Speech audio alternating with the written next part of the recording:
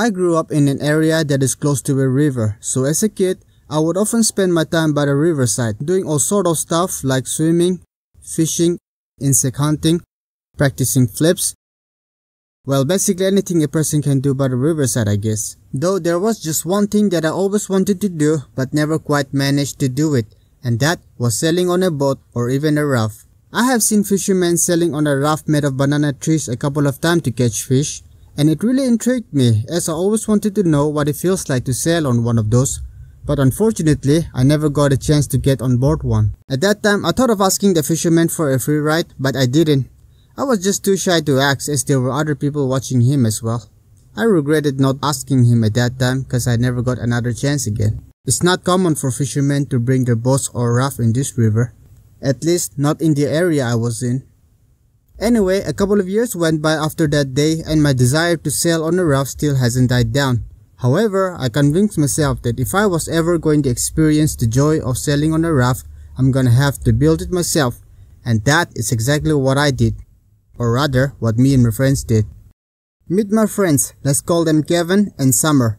Oh, and I'm Saber by the way. It's not my real name, but that's what some of my friends call me now thanks to my username in a game called Clash of Clans.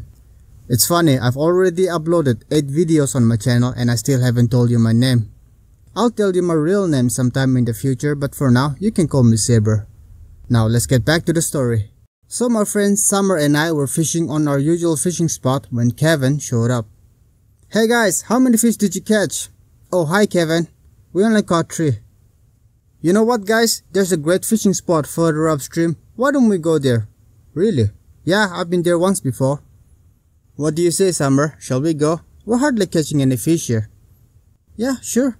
Alright guys, follow me. So we started walking upstream for several minutes covering around 1.5 km from our usual fishing spot. Once we got there, Kevin showed us the spot. There's the spot down there guys, what do you think? Hmm, seems like a nice spot for sure. So we started fishing in this new spot and we're having a great time chatting with each other as there were three of us now. The only problem with this place was, it was basically the same as the one we came from as far as fishing goes, meaning we were hardly catching any fish.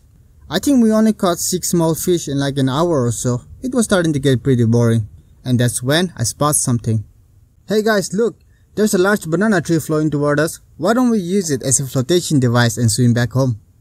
Yeah, that's a great idea. Let's do it. Guys, are you forgetting something? I can't swim, you know. Ah, don't worry. That banana tree will keep us afloat. Besides, the river's not that deep at this time of year anyway. Guys, I think I have an even greater idea. How about we build a raft instead? There's a bunch of banana tree growing over there. We can cut some of it and build a raft with that. Oh, I don't know. What if the owner sees us cutting it? What do you mean? Those banana trees are growing in the middle of nowhere. It was probably brought in by the flood or something.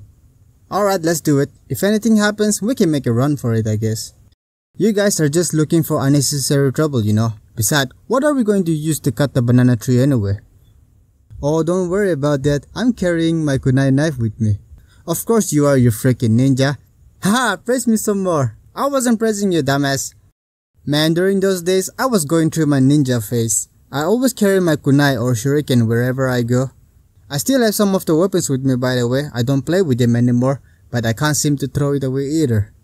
And now that I think about it, I think that was the only time I found it to be useful. Other times, it was just a sharp piece of metal that makes annoying clanking noise and create unnecessary holes in my pocket. Anyway, we cut the banana tree that was flowing toward us and dragged it on the riverbank. We then cut down three more banana trees and placed them together side by side.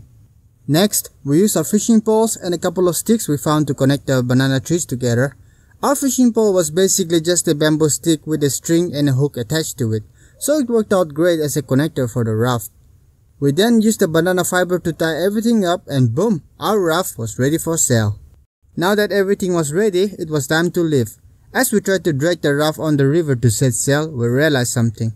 Our raft was heavy as fuck. Man, we did not take the overall weight into consideration while building it. Else, we would have built it close to the river and not 15 or 20 meters away like some idiot. The three of us nearly broke our back dragging this thing across the sandy riverbank. As we got closer, we heard someone yelling at us from across the river. I don't remember exactly what he was yelling about, Maybe it was something to do with us possibly drowning or something. Well, it didn't matter. As soon as we heard him yelling at us, we just instinctively took off running.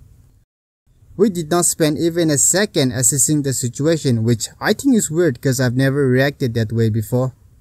And we would have just kept on running had it not been for Kevin. We ran a good 30 meters away from the raft when Kevin was like, Yo, guys, why are we running? He's standing across the river, there's no way he can catch us. Oh, yeah, yeah, yeah, yeah, let's go, let's go. So we immediately turned around and started running toward the raft. I'm sure they confused the heck out of that guy. Once we got to the raft, we started dragging it like the weight didn't even matter. Makes sense, cause our adrenaline was super high with excitement. Once the raft hit the water, we all jumped on board and started paddling with our hands to get away from there.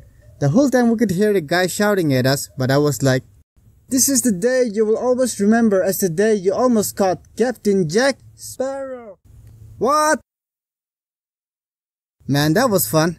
Not only was I finally able to fulfill my desire of sailing on the raft, but I also made a daring escape while at it. Well, maybe calling it a daring escape is a stretch, but that's what it felt like at that time. And I would love to do it again if possible. Though it's unlikely I would do it as I'm not as mischievous as I was back then, but you never know. One thing I know for sure is that I will certainly be keeping my eyes open for any wild banana tree growing by the riverbank, just in case.